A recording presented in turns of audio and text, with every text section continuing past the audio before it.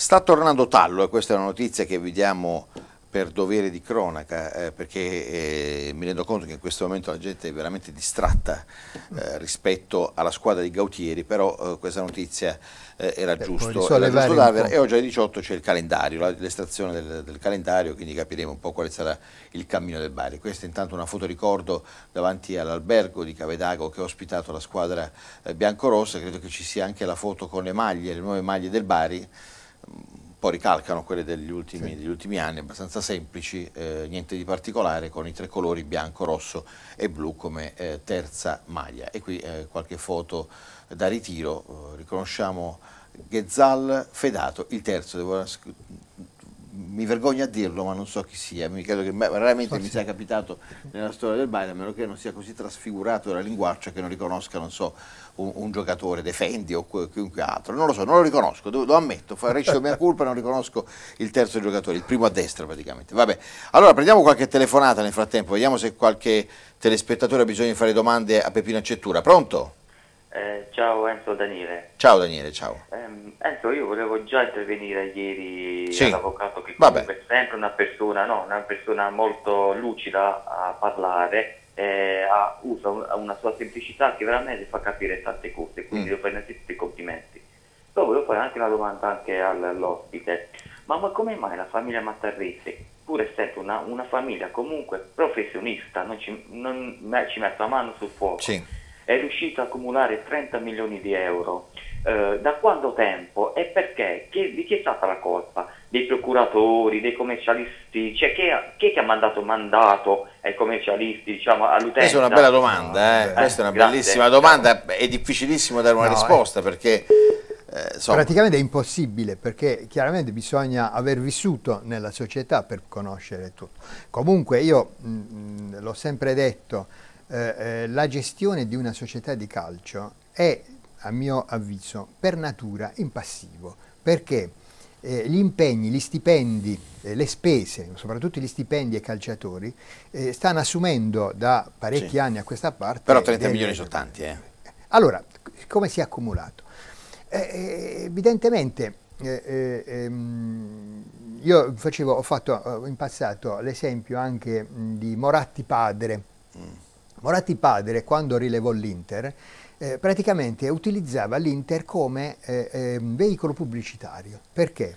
Organizzava soprattutto eh, ehm, trasferte nei paesi arabi perché mentre la squadra, che allora era già eh, eh. forte a livello europeo e quindi anche eh, a livello mondiale, eh, riusciva a vincere sì. un po' su quasi tutti i campi, quindi aveva, uh, una bel, dava una bella lui raccoglieva immagini. lui raccoglieva, raccoglieva lui, la, la, squadra sì. raccoglieva le immagini, lui raccoglieva contratti con i petrolieri arabi, cioè metteva a frutto, certo. quindi il, il passivo Lecito, della società. Ma è normale, eh. ma del resto eh, non esiste un imprenditore, perché notiamo i ehm, presidenti di società sono tutti imprenditori, mm. non c'è una persona eh, diversa, un puro, professionista eh, oppure un, professionista, un eh, presidente per professione, sono imprenditori che traggono un'enorme pubblicità dal fatto di essere presenti, hanno praticamente le porte, contano, eh. hanno le porte spalancate in tutta la nazione e anche all'estero. C'è un amico lì, una volta un presidente di una società provinciale disse io per anni avevo cercato un appuntamento con Agnelli, nel momento in cui sei diventato presidente della squadra di calcio, dopo due giorni ero ad Agnelli. Ecco. C'è un amico in linea, pronto? Eh, ciao Enzo e ciao Pepino Cettura, sono Simone Palmieri. Ciao Simone, ciao. Simone Palmieri del Carnoi Galletti. Sì.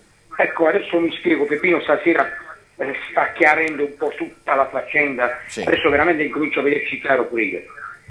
Ecco perché quando l'americanata di Barton, gli altri monegaschi accusati di non avere le carte in regola, ecco che cosa, ognuno di loro aveva l'esperto che guardate le carte scappava via, faceva scappare via la pirata. Mm-hmm. La domanda la domanda che voglio fare a Peppino. Sì. Allora, a questo punto i, i Matarrese hanno un'unica soluzione per non pagare i debiti, far fallire il Bari, no? La, Anche questa è una bella domanda, ne stavamo parlando prima. Soluz quale soluzione secondo te possono allora, avere in mente i Matarrese in questo momento? Dunque, diciamo che eh, si presentano uh, uh, due soluzioni. Uh, una è quella più razionale, quella della morte, tra virgolette, della, della società, quella di un miracolo. Mm. Il miracolo può essere rappresentato da una promozione in Serie A. Mm. Ecco perché dico miracolo tenendo conto della struttura tecnica della squadra perché per forza di cose non si è potuto al momento attuale ancora rinforzare ma è stata indebolita purtroppo la, la, la, la struttura tecnica della squadra dell'anno scorso. Una promozione in Serie A vuol dire avere di colpo 28, 24, 28 milioni di diritti TV togliersi i macigni dei piedi. E quindi insomma. praticamente con eh, l'altra offerta dei 11, 12, 15 milioni da parte dell'acquirente si arriverebbe a coprire interamente tutti i debiti.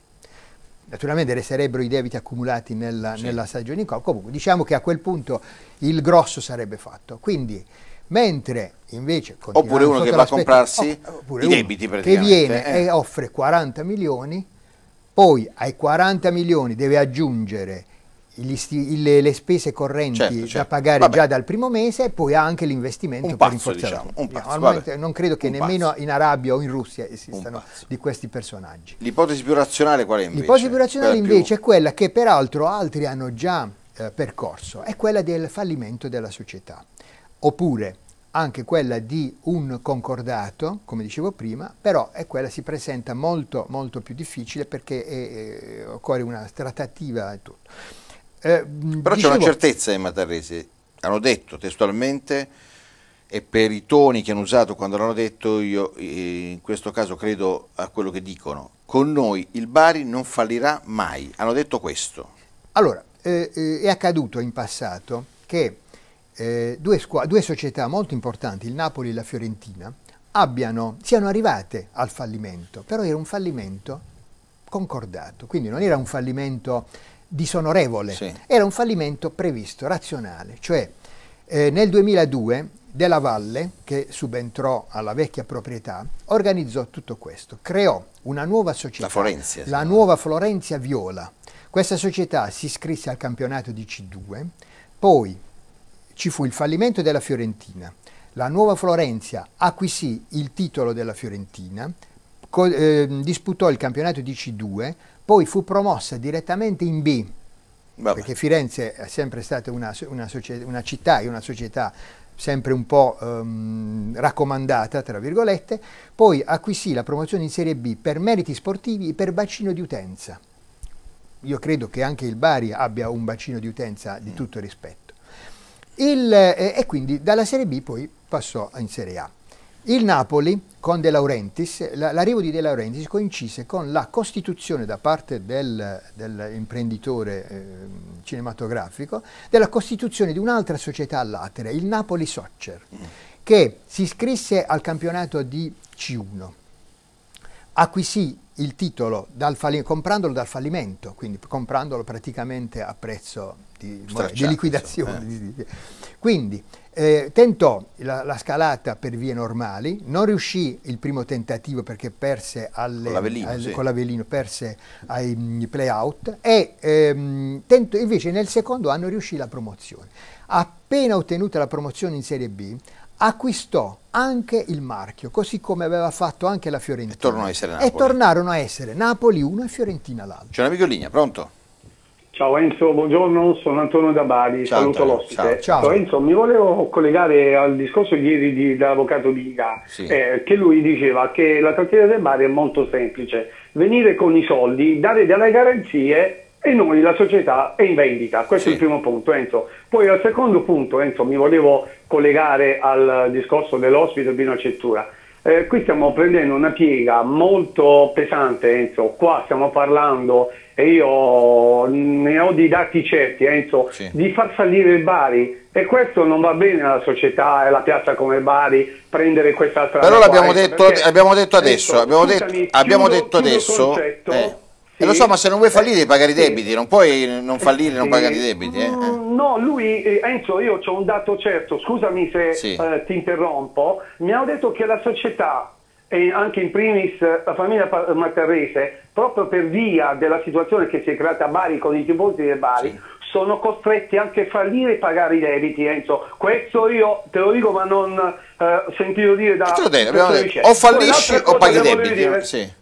Poi l'altra cosa che volevo dire, Enzo, eh, come diceva prima diciamo, l'altro uh, sì. telespettatore che ha chiamato, sì. diceva ben certo come si fa a far fare 30 milioni di debiti quando c'hai un'attività molto semplice Enzo? Io ho un'attività di abbigliamento, io sto chiudendo un'attività perché non mi frutta, non mi va bene, io chiudo Enzo, non mi faccio arrivare a una somma esorbitante per non poter pagare i debiti. Grazie Antonio per il tuo intervento. Abbiamo detto una cosa, che o si pagano i debiti o qualcuno paga i debiti per conto di, oppure la società rischia, eh, rischia, di fallire. Però è anche vero che i Materisi hanno sempre detto e lo ricordo perfettamente con noi il Bari non fallirà mai l'hanno sempre detto.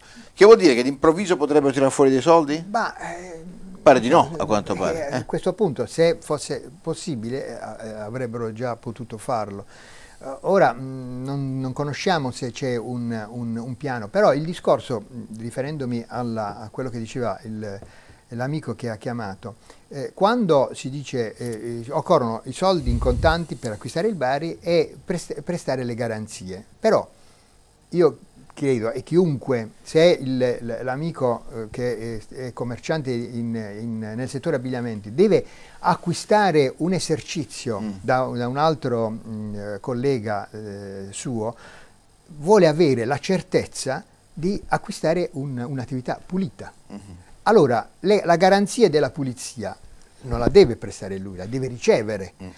E il problema è, è che è difficile prestare la garanzia sulla pulizia di questo esercizio che viene ceduto, perché i debiti rimangono.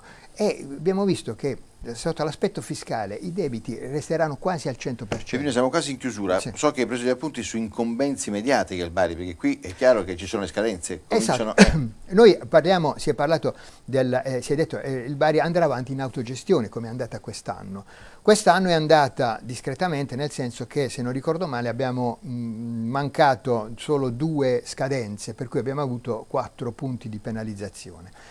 Adesso abbiamo già una prima scadenza. Il 15 agosto mhm. scade il termine per prestare l'attestazione eh, di avvenuto pagamento di stipendi e contributi eh, ehm, eh, previdenziali sugli, appunto sugli stipendi per il bimestre eh, maggio-giugno. Mm quindi mancano 14 giorni, sì. quindi vedremo se non si dovesse rispettare questa scadenza scatterebbero già i primi due punti e così via. Gli cioè, ulteriori due punti perché ne abbiamo già i, sì, I primi due punti di questa nuova cosa. Sì. Noi ah, eh, sappiamo che la federazione eh, richiede eh, entro il quindicesimo giorno del secondo mese uh mhm. -huh. dopo il bimestre eh, precedente l'attestazione di avvenuto pagamento di eh, stipendi. Mi pare di capire che qualcosa c'è in cassa adesso, mi sembra ora, di capire. Eh. Ora, eh, vediamo che ci sono tre trimestri fino alla scadenza di mm -hmm. dicembre, quindi tre eh, necessità di far fronte a questi. Teniamo presente che è vero che ci è stata una riduzione, però gli stipendi più alti a partire da quello di Ghezal sono ancora a carico. Mm, secondo un certo calcolo dovrebbero essere a carico della, della società attualmente circa 6-7 milioni di stipendi, mm -hmm. per cui l'incidenza è di circa 500 mila euro al mese più i contributi. In eh, sede di autogestione francamente eh, vedo che, mm, Sembra difficile. che sarà difficile. Stop, Comunque, stop, aspettiamo, stop. Eh, aspettiamo. Io credo che si debba muovere necessariamente qualche cosa subito, non può uh, finire tutto così nel silenzio. silenzio. Occorre che i protagonisti di questa uh, uh, vicenda, vicenda beh, si, si, diano da fare. da fare. Grazie Peppino Acetture, grazie per la sua eh, collaborazione. Noi ci ritroviamo domani per l'ultima puntata diretta eh, stagionale del Bianco e Rosso TV Sport. Ciao. Arrivederci.